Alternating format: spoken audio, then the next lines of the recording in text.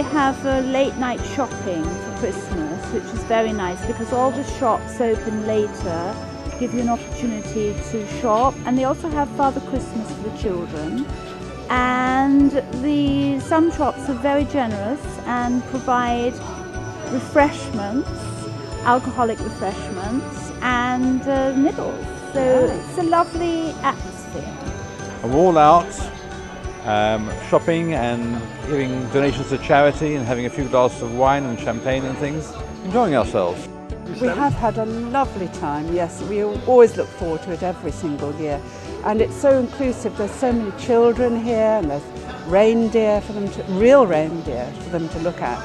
And it's just a lovely, lovely way to start the Christmas season, really.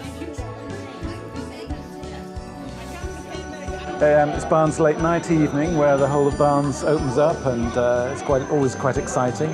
Um, I try and make it a little bit more fun. I've got a snow machine going, kicking off outside, which is always great for the kids. And uh, we've got sparkling wine, and it's a fun evening. So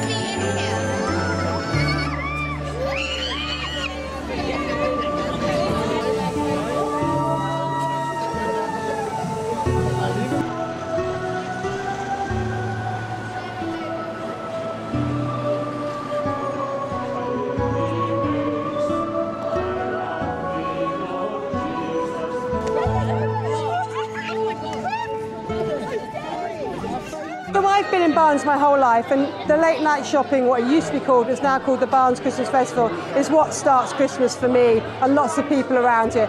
The high street's absolutely packed with people walking along, going into all the local shops, seeing what they've got on offer. Um, there's choirs singing all the way down the high street, there's bell ringers. I believe, but I've not seen them yet this year, Father Christmas has his reindeer on the high street, so you can go and visit them as well.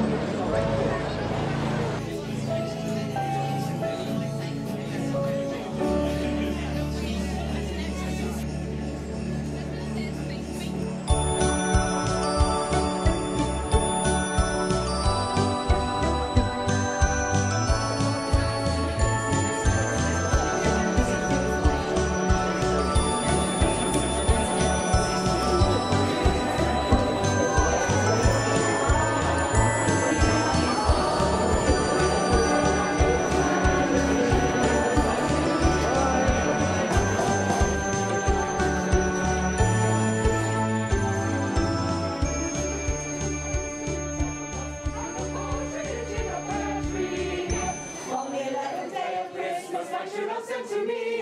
Eleven pipers piping, ten cords a leaping, nine ladies dancing, eight maids a milking, seven swans a swimming, six geese a laying, five gold rings, four roaring birds, three French hens, two turtle doves, and a partridge in a pear tree. One word.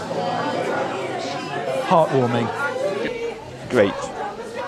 Uh, in one word, it's just, I can't say it in one word, it's just the beginning of Christmas for the whole of Barnes. Welcoming, fun, and inclusive. I would say eclectic because you could actually buy anything from a candle to a house this evening if you just go along the high street. So what an eclectic mix, I think, for Christmas. Yes, yes, wonderful. I might buy a house or something here. Or a candle. Or a candle, yes.